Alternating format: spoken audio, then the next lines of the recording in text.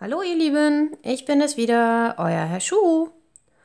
Heute habe ich wieder eine Idee dabei, da könnt ihr ein eigenes Spiel basteln.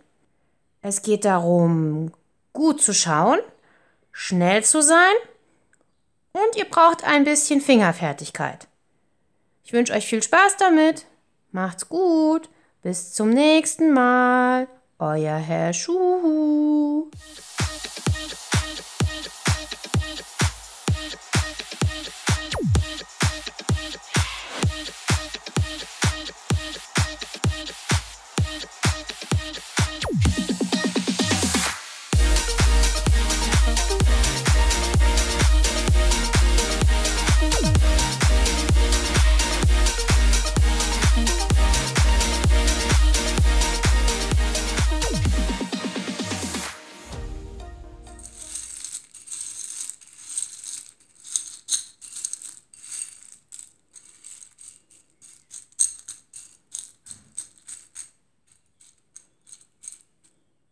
Nun kann das Spiel starten. Als allererstes wird die erste Karte vom Stapel aufgedeckt.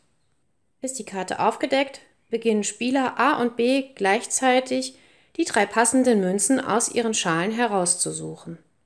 Der Spieler, der als erstes alle drei passende Münzen gefunden hat, ruft laut Stopp und hat diese Runde für sich gewonnen. Nun werden die herausgesuchten Münzen wieder in den Schalen verteilt.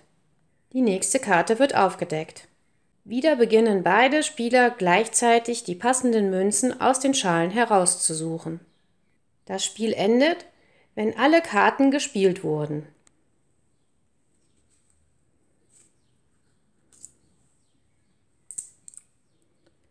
Gewonnen hat der Spieler mit den meisten Punkten.